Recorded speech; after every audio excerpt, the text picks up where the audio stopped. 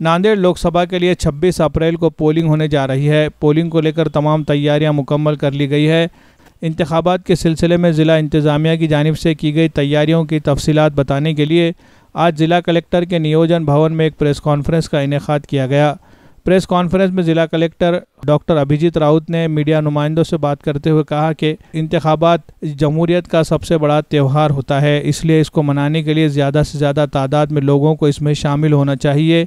और पोलिंग के दिन अपने हक़ रायदही का इस्तेमाल करना चाहिए, क्योंकि एक आज़ाद मुल्क की पहचान ये होती है कि वहाँ की आवाम को अपना रहनुमा मंतखब करने का मौका दिया जाता है।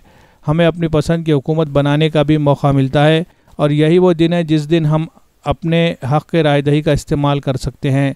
उन्होंने राय दहिंदगान से अपील की है कि वो सुबह सात बजे से ग्यारह बजे के दौरान पोलिंग सेंटर पहुंचकर अपने हक़ रायदही का इस्तेमाल करें। चूँकि सुबह के वक्त धूप कम रहेगी, इसलिए किसी भी तरह की परेशानी नहीं होगी।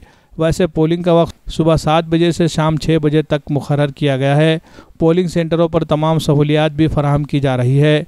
नांदेड़ लोकसभा हल्के के लिए दो हज़ार अड़सठ पोलिंग सेंटर बनाए गए हैं।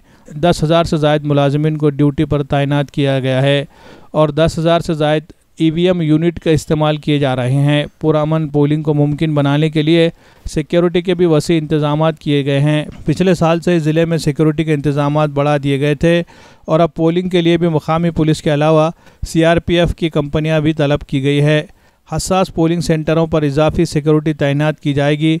पुलिस और होमगार्ड को मिलाकर तकरीबन पाँच हज़ार सात सौ सिक्योरिटी एहलकारों की खिदमत हासिल की जा रही है। पोलिंग के दौरान किसी भी मुकाम पर लॉ एंड ऑर्डर का कोई मसला खड़ा ना हो, इसके लिए भी तमाम तैयारियाँ की गई है। ज़िला कलेक्टर ने तमाम राय दहिंदगान से अपील की है कि वो ज़्यादा से ज़्यादा तादाद में अपने अपने घरों से निकल कर हक़ राय दही का इस्तेमाल करें और जमहूरीत को मज़बूत बनाए।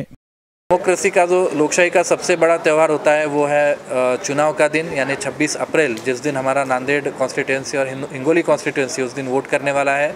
मेरा सभी मतदाताओं से ये मेरा आह्वान रहेगा, मेरी ये गुजारिश रहेगी कि आप उस दिन ज़रूर बाहर आके अपना जो वोटिंग का राइट है, उसे एक्सरसाइज करें। आप अपना जो मत है, अपना वोट है, वो जाके दर्ज करें। क्योंकि एक स्वतंत्र देश की पहचान यही होती है कि यहाँ पर हमें चॉइस होती है कि हमें अपने पसंद का उम्मीदवार चुनने की चॉइस होती है, हमें अपनी पसंद की सरकार चुनने की चॉइस होती है। और यही वो दिन है जिस दिन हमें ये चॉइस एक्सरसाइज करनी है, जिस दिन हमें ये चॉइस बतानी है। तो इस हिसाब से मैं सबसे ये गुजारिश करूँगा कि सुबह सात से ग्यारह के टाइम में ज़्यादा से ज़्यादा आप मतदान करें। वैसे मतदान का टाइम सात से शाम छः तक है, लेकिन अपने को पता है कि थोड़ा धूप का भी टाइम है। धूप उस दिन थोड़ी कम रहेगी, ऐसा हमें आईएमडी से अंदाज़ भी मिला है और मतदान केंद्र पे भी सारी फैसिलिटीज़ है। लेकिन जितना हम सुबह जल्दी मतदान करेंगे, उतना सबके लिए सहूलियत का होगा। तो इसलिए मैं सबको फिर से एक बार ये गुजारिश करूँगा कि आप ज़रूर उस दिन मतदान करें। कितने केंद्र हैं और किस प्रकार की यंत्रणा लगाई गई है? नांदेड़ कॉन्स्टिट्यूंसी के लिए दो हज़ार अड़सठ केंद्रों की हमने स्थापना की है, दस कर्मचारियों की नियुक्ति की गई है और दस हज़ार से ज़्यादा यूनिट्स जो है ईवीएम के, वो भी हम यूज़ करने वाले हैं और ये सारी यंत्रणाएँ सिर्फ़ और सिर्फ़ इसलिए कि हमारे मतदाता उस दिन अपना वोट दर्ज कर सके।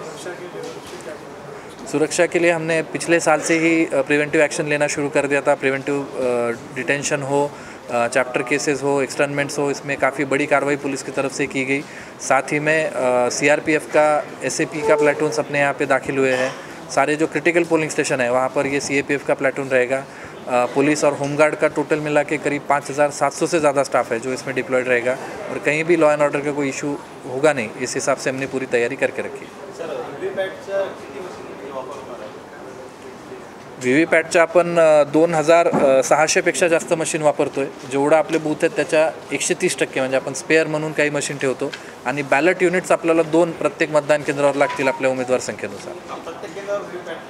प्रत्येक केंद्रावर व्ही व्ही पॅट मशीन असेल दोन बॅलट युनिट एक कंट्रोल युनिट आणि एक व्ही व्ही पॅट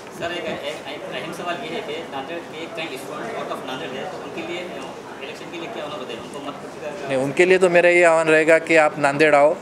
शनिवार रविवार की छुट्टी भी उसके बाद है, आके अपना वोटिंग करो, थोड़ा सा रेस्ट करो और उसके बाद नई ताकत से अपनी पढ़ाई करने के लिए वापस जाओ। यूनानी फार्मेसी, गुर्दे, पित्ते में पथरी, दोबारा पथरी ना होने का किया जाता है मुकम्मल इलाज। फैटी लीवर मेडिसिन भी दस्तियाब, Bahadurpura X road, nine three nine zero six one zero four three six पर कॉन्टैक्ट करें।